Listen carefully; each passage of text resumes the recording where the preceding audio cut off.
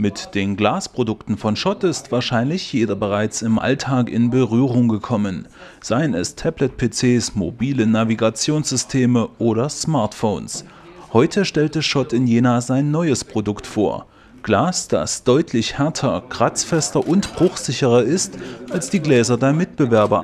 Xensation Cover lautet der Name des ultraharten Cover- und Touchglases für den Einsatz in Smartphones und Tablet-PCs.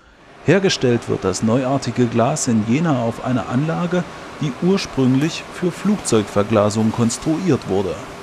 Das Besondere dieser Anlage ist, dass es eine Microfluid-Anlage ist, die in der Lage ist, die Eigenschaften herzustellen, die mit anderen normalen Fluidanlagen nicht hergestellt werden können. Also zum Beispiel das Micro steht dafür, dass die Anlage eine gewisse Größe hat, äh, deshalb eine gewisse Größe haben muss, weil das Schmelzaggregat diese Temperaturen, wenn es größer wäre, gar nicht aushalten würde. Aushalten kann das Sensation Glas einiges mehr als die der Konkurrenz. Das demonstriert auch ein standardisierter Falltest mit einer Stahlkugel. Ein weiterer Vorteil soll die deutlich geringere Verarbeitungszeit sein.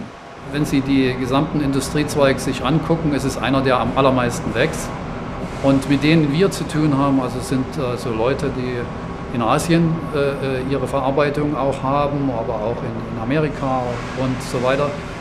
Das sind alles welche, die ein enormes Wachstum an, an, Markt, äh, an den Tag legen und deshalb habe ich erst mal Vertrauen für die Zukunft.